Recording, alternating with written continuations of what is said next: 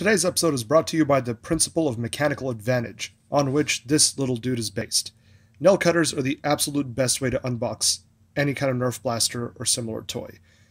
I see people using these big elephant shanking knives, and I'm not really sure why.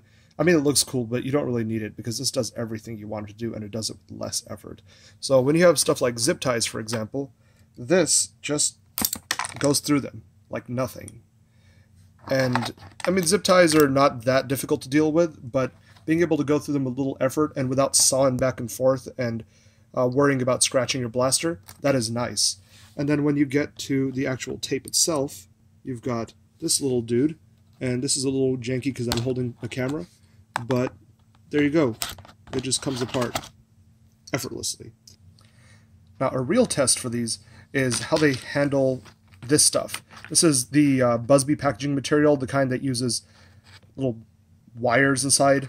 And yeah, scissors can do it. Uh, scissors definitely don't like this stuff.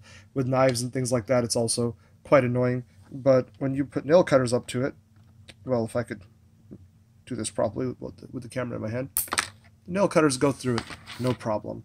So pretty much anything you've got, the nail cutters will open it, I have yet to come across any kind of packaging that the nail cutters will not just annihilate instantly.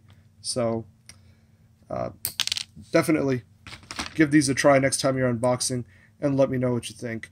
Also, um, I guess you could use them to cut your nails.